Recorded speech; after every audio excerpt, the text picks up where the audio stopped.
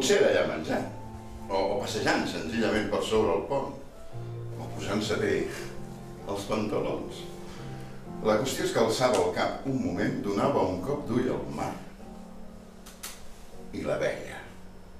Llavors es quedava immòbil, se li disparava el cor i sempre, ho juro, sempre, es girava cap a nosaltres i deia Amèrico!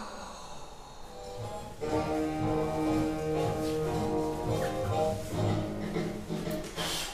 Aquell moment va esclatar una apoteosi de crits, aplaudiments, un, una bogeria. El duien així, en braços. Jo, jo de veritat no havia vist mai una cosa com aquella. Roy Morton fumava nerviosament aquella maleïda cigarreta. En un moment donat, la seva mà de papallona va començar a tremolar. Tremolava tant que la cendra es va desprendre i va caure el xarol de la sabata. Un dia del mes de febrer, al port de Nova York, Danny Woodman, T.D. Lemon, Novecento, baixaria del Virgínia.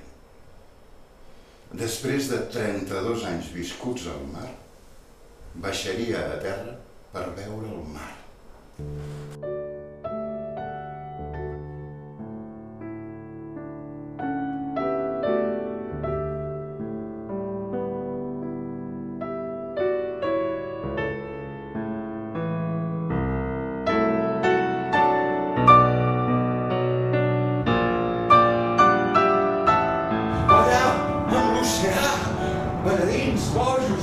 Perfectes, abraçats en un vals turbulent damunt el parquet daurat de la nit.